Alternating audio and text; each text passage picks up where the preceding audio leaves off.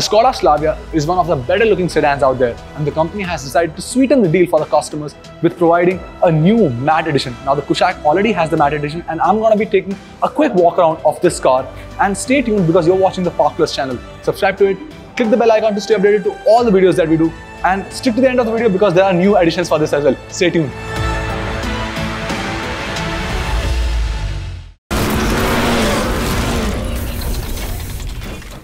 When it comes to the design of the car, not much has changed, but this one comes in a paint job which is carbon steel grey and in a matte finish. It looks beautiful and right at the front we have an imposing grille which is done in gloss black with chrome inserts around it and it is flanked by LED projector headlamps. Right beneath it we have a thin chrome strip above the fog lamp and all of that comes in together to give a very imposing look, an elegant finished car. And uh, right on the side of the profile, you have strong lines, even on the bonnet for that matter. And this comes shod with 16-inch diamond cut alloy wheels, which looks very sporty. Now the strong lines in front of the car aren't just confined to the bonnet. You look at the side of the car, the profile, you can see strong shoulder line running the length of the car. And the other elements which are matte, but yet there is a gloss finish on the outdoor rear view mirror. The door trims have gloss finish with chrome inserts, which looks beautiful.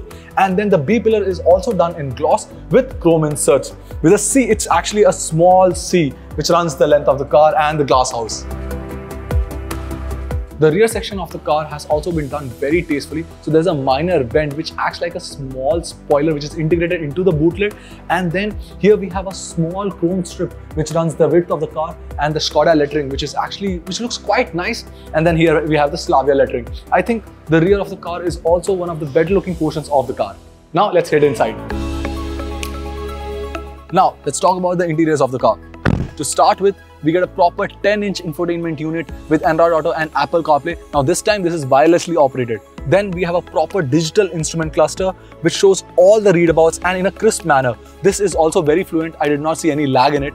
Apart from that, the new additions on the matte edition include a subwoofer and an amplifier and these two seats are electronically adjustable. Now those are the additions on the matte edition. Apart from that, the entire car remains the same. There's also a nice theme of light and dark shade for the dashboard and the seats. So if you look at this, there's double stitching. It looks very premium. The side bolstering is also very nice. You feel very good and this is very opulent cabin. It, it certainly punches above, above its weight class.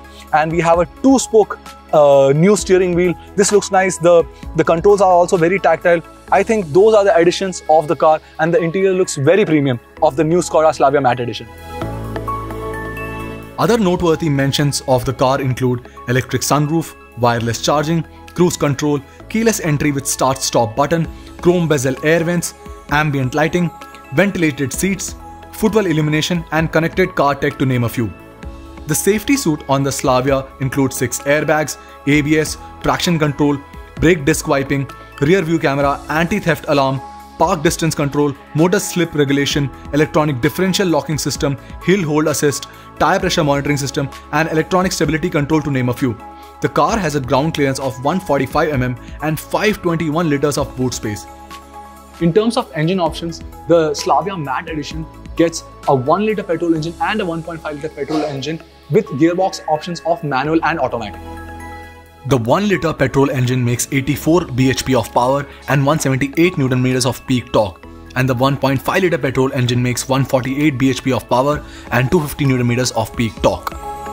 The Skoda Slavia rivals the likes of the Honda City, Hyundai Verna, Maruti Suzuki Ciaz and Volkswagen Virtus to name a few. The new Skoda Slavia's matte edition will cost you rupees 15.52 lakhs ex-showroom for the base model and the top model will set you back by rupees 19.12 lakhs. Now the base model is rupees 40,000 more than the normal edition of the same car, the same variant which is style. You let me know in the comments below what do you think about the new Skoda Slavia matte edition. I'll see you on the next one. Also subscribe to the channel. どどどどどどどどど。